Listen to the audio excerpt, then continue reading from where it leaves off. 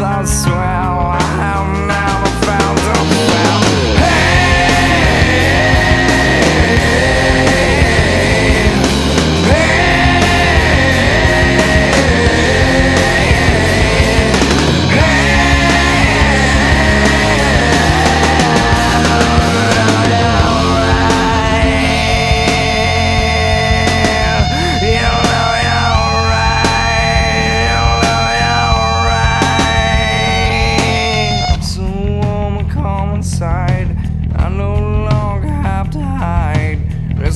Talk about someone else. Standing soup against a mouth. Nothing really bothers her.